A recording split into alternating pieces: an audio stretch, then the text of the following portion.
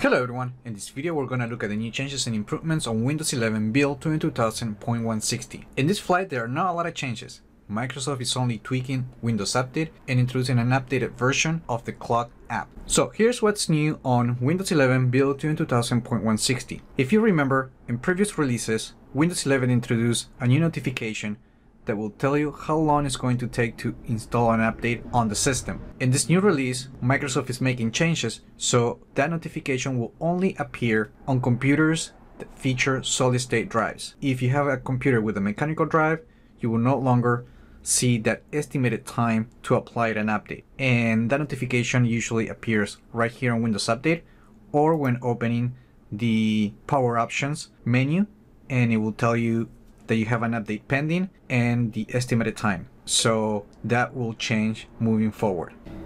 Then there is also the new clock app that includes an updated interface matching the design of Windows 11. As you can see, we get a new interface that includes the new materials, iconography, fonts, and everything that matches how the operating system looks like right now. And of course, this is the update that includes focus sessions which is a feature designed to be a new way for users to focus on tasks and work. The feature integrates with the Microsoft To Do app and Spotify to create sessions where you can pick your task and a Spotify list and set a timer to complete the task. However, the experience requires a little bit of setup at the beginning. For example, you must sign in with your Microsoft account to access the Microsoft To Do tasks and you need to have installed the Spotify app and then you have to link it to complete the integration. So here's the focus sessions feature on the clock app. So and to get started, you need to sign in with your Microsoft account. Once you do that, you will see your tasks list to create a new session. And then you also need to link your Spotify account with the application.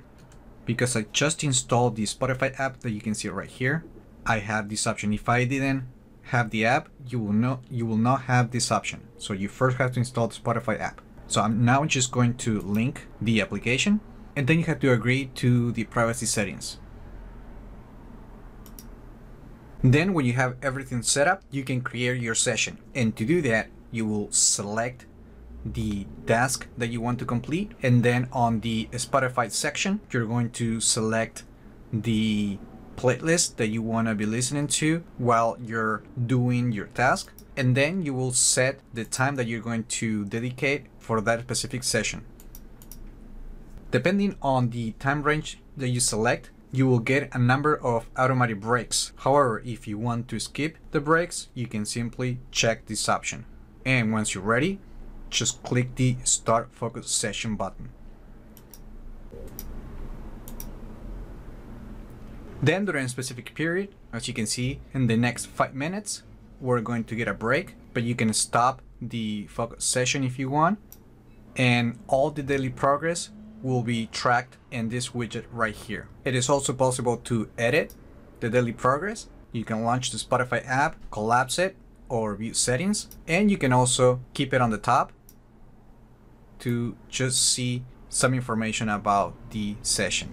And that's pretty much it. That's a closer look at the new focus sessions for the clock app on Windows 11. Another thing that I wanted to point out is now that we can go to the settings page and in here there are some settings that you can adjust. You can adjust the uh, focus period, break periods. You can enable or disable the end of session sounds. Also for the end of break sound, you can manage your Spotify account and you can also show tiles in the focus section experience for Microsoft to-do lists. In addition, you can change the app color theme. You can switch it to the light or dark.